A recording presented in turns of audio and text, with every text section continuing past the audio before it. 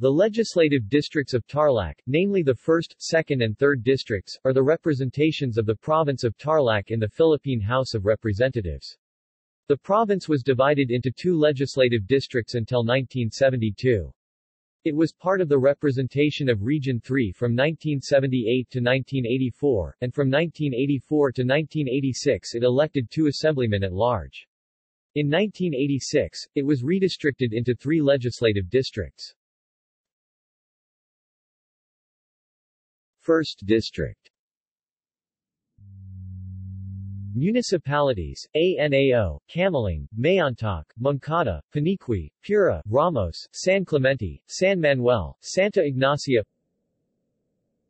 Population 2015, 408,162 1907 to 1972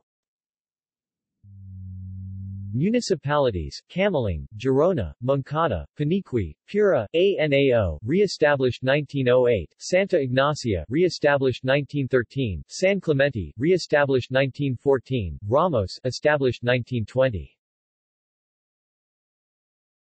Second District City, Tarlac City municipalities, Gerona, Victoria, San Jose, established 1990 Population 2015, 529,992 1907 to 1972 Municipalities, Bamban, Capas, Concepcion, La Paz, Tarlac, Victoria. 3rd District Municipalities, Bamban, Capas, Concepcion, La Paz.